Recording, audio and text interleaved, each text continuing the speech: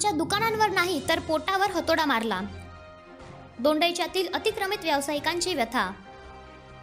दोंडाईच्या शहरातील मध्यवर्ती ठिकाणी असलेल्या छत्रपती शिवाजी महाराजांच्या पुतळ्याच्या कठड्यास ट्रकने धडक दिली.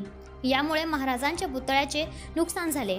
परिणामी शहरात वातावरण तंग होऊन शिवप्रेमींनी पोलीस ठाण्यात ठिय्या मांडला. यामुळे पुतळ्याभोवतीचं अतिक्रमण हटवण्याची मागणी सर्व पक्षीय नेत्यांनी केली.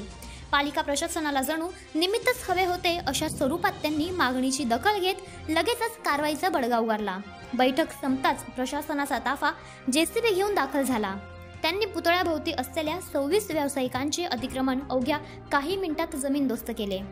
एकीकडे कारवाईचे समर्थन होत असताना अतिक्रमित व्यावसायिकांनी मात्र तीव्र शब्दात संताप व्यक्त केला आहे.